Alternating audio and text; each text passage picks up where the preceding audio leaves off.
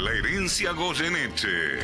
El polaco Goyeneche es sinónimo de tango. Dejó en vida un patrimonio invaluable para la cultura de nuestro país. Sus obras siguen trascendiendo a través del tiempo. Era más blanda que el agua. El agua blanda era más fresca que el río. Naranjo Otra de las cosas que el polaco nos dejó fue su icónica casa del barrio de Saavedra, una vivienda donde hoy reside su hijo mayor, quien grita a viva voz su difícil presente económico. Hoy tenés el mate lleno de infelices ilusiones. Te engrupieron los otarios, las amigas, el gavión. Yo no quiero vender, quisiera encontrar otra solución para que esta siga siendo la casa del polaco. La familia Goyeneche que ha tomado la decisión de vender esta casa, el lugar donde nació y creció el gran cantante, hoy tiene ese cartel. Dejó un pedazo de vida. Te han dicho tantas estupideces, tantas cosas, que ya estoy cansado. Pero ninguno me viene a golpear la puerta y decirme, ¿por qué? Esto de acá, de donde vos entraste, de esta pared, hasta el fondo del lote es todo de nosotros, todo mío, porque está todo a mi nombre. Yo estoy, estoy intentando poner el museo, pero no tengo ayuda de nadie, hermano. Quéreme así piantao, piantao, piantao. Te repate esta ternura de locos que hay en mí. Ponete esta peluca de a ti. Oliver, el aire es tuyo, contame. Luis Equipo, ¿cómo están? Buenas tardes. Sí, estamos acá en el barrio de Saavedra, así como ustedes también mencionaban, en la casa de uno de los emblemas del tango del Roberto Polaco Goyeneche, con acá también una casa llena de recuerdos. Pueden ver las imágenes, trofeos, eh, fotos también donde él era niño, recuerdos, ¿no? Donde acá él vivió y creció y también construyó su familia, pero que hoy se encuentra en peligro esta herencia cultural por eso también acá está su hijo Roberto eh, Goyeneche, el hijo mayor, para contarles y este pedido de ayuda que está pidiendo para poder mantener este legado, este, esta casa donde su padre también pudo construir su familia. Así que Roberto ya los está escuchando y está todo para hablar con ustedes. ¿Cómo te va? Buenos días. Hola Roberto, ¿cómo vamos? Bueno, acá estamos. ¿Preocupados? Hola Luis. ¿Cómo qué estamos? Gusto y sí, qué gusto escucharte. Justo la, Vamos justo a la semana que Platense le ganó a Boca. Sí, señor, sí, señor. Y eh, justo en el mismo domingo entre, dimos la película en el club de acá del barrio, donde papá fue uno de los fundadores también. Bueno, contame, Roberto. Un domingo perfecto salió para nosotros. Contame una cosa, Roberto. Te escucho, Luis. Ojalá todo siga siendo perfecto. ¿Qué necesitas? ¿Qué te está pasando? ¿Qué pasa con la herencia cultural que nos dejó el polaco? Contanos eso. Mira, Luis, la herencia cultural del polaco va a seguir, sigue, y mientras eh, los hijos estemos vivos va a seguir manteniéndose. Eh, después lo que necesitamos, yo que yo necesito, y necesito desgraciadamente eh, vivir, y no puedo mantener yo solo este, este monstruo. Eh, nada, no tengo ayuda, ¿viste? No tengo ayuda de las autoridades. Y, bueno, entonces estoy, que la única solución que me queda es, es vender y no la voy a regalar la casa, te aclaro, pero la, tengo que vender porque necesitamos vivir.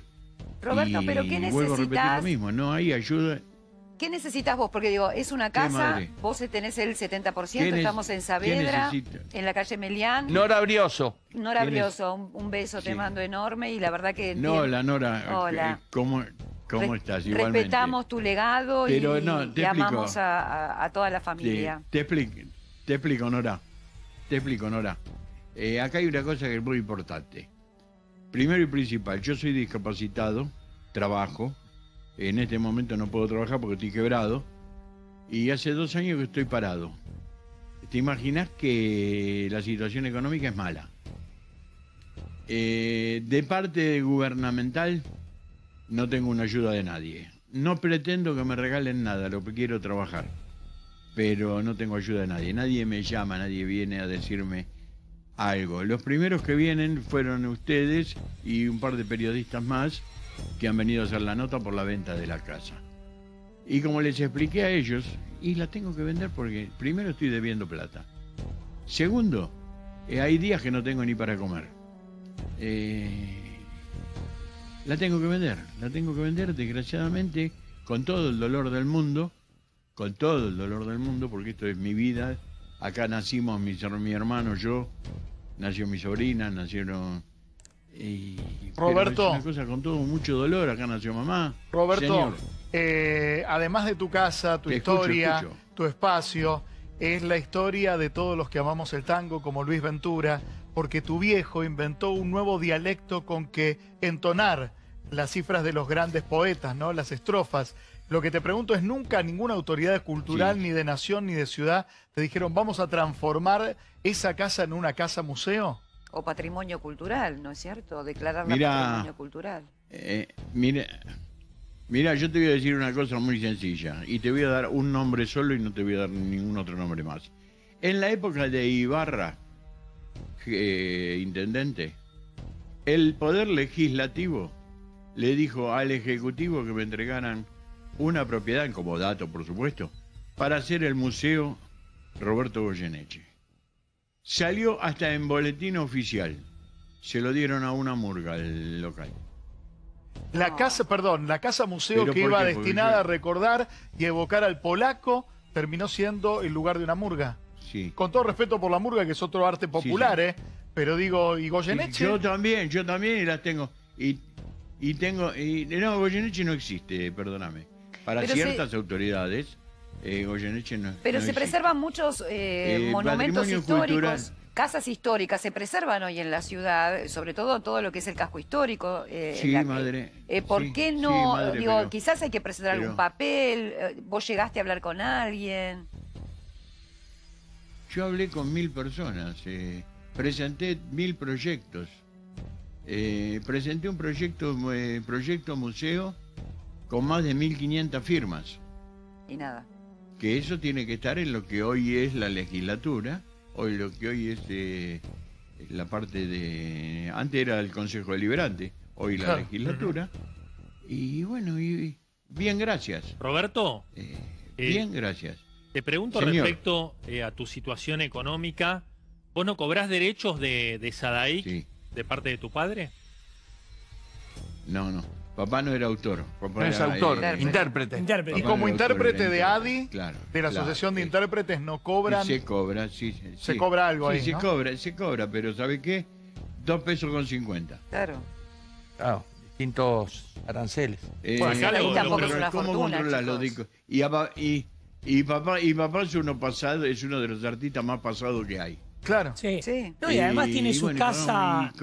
¿Cómo, lo.? Tiene su casa Enrique Santos Discépolo también, exactamente en estas mismas condiciones que está pretendiendo la familia Goyeneche que la tenga. Bueno, pero hay decisiones de jefes comunales, como la casa de Ladia Blasquez en Morón. Tiene que haber un intendente, cualquiera sea y del partido político que fuere, que diga vamos a privilegiar ese espacio para abrirlo a la comunidad.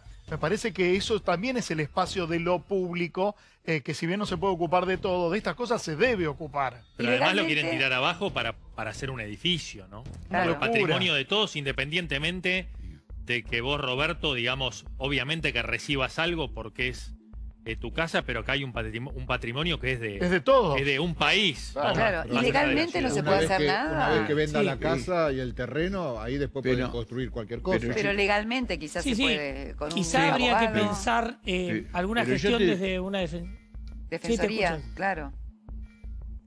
Dale, Roberto. Sí, Roberto. Yo estoy de acuerdo con ustedes, lo que están.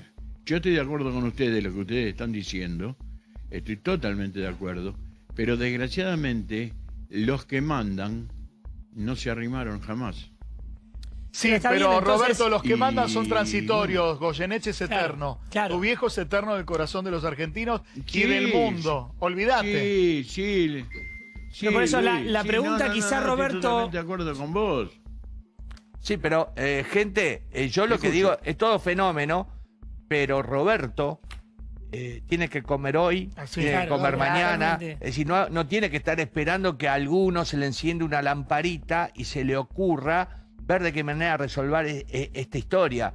¿Entendés? Le tienen que dar de comer, le tienen que apuntalar, sino darle una posibilidad laboral, algo que lo vaya asistiendo justamente para sostener algo que después no vamos a arrepentir, porque vas a pasar frente a, ese lugar, vas a ver el edificio de 23 pisos y sabes qué, acá, acá nació Goyeneche, vas a decir. Y ya es tarde. Claro, y, además con la posibilidad que el propio hijo te lo explique. ¿Cuántas figuras si tuvieran a su hijo disponible para poder dar algún tipo de versión? Es decir, hay un contenido que es inconmensurable, pero que siempre pasa entre lo urgente y lo importante fuera del objetivo de la política partidaria, lamentablemente.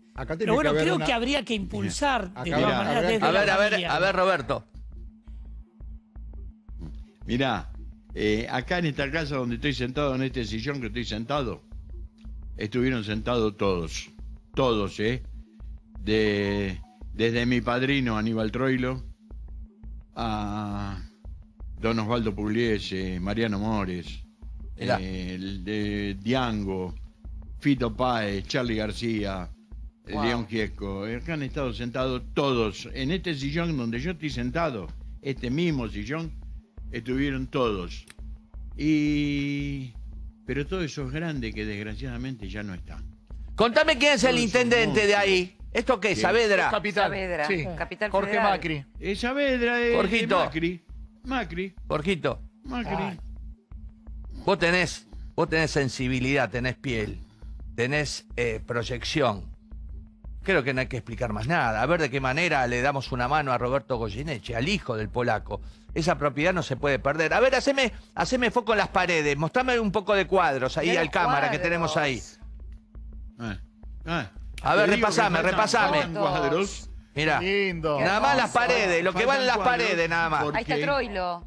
Eso en el mundo vale lo que quiera. Faltan cuadros porque yo estoy digitalizando fotos, ¿viste? Para que no se me pierdan. Entonces los tengo en el fondo y los tengo desarmados. Mira lo que es Entonces los agujeros que vas a ver hoy, desgraciadamente... Bueno, pero mostrá mi imagen, mira el polaco, el polaco en primer plano. Mira lo que es eso. Roberto, Luis, eh, acá me pasa Marcelo Villanueva, que es el representante de Esmeralda Mitre, eh, me dice que él se ofrece a organizar un show de tango totalmente ad honorem para recaudar plata para Roberto. vamos todos, sí, vamos todos. Vamos, pagamos la entrada. Nosotros lo cual es importantísimo y me aclara que no venda nada. que no venda nada. Que no venda nada. La gente ya se empieza a solidarizar. Muy bien. Decirle, de, hacerle llegar a este señor mi, mi agradecimiento. También, que, pero que yo también organizo el show de tango. Muy bien. Y de eso estoy viviendo. Júntense, júntense. Y bueno, yo le meto a Marcelo Neira, que lo tenemos en Radio del Plata toda la madrugada. Vamos. Pero de mil amores, pero de mil amores tengo las puertas. Un día voy a ir a tomar mate, así me acuesto en ese sillón un ratito. Pero, pero cuando gustes, ¿sabes? Dale. Escuchame, el domingo me encuentro acá con Cachito Rubio. Vamos, Cachito. Te mando un abrazo. Me, están echando, me están echando, Roberto. Chao, Oliver.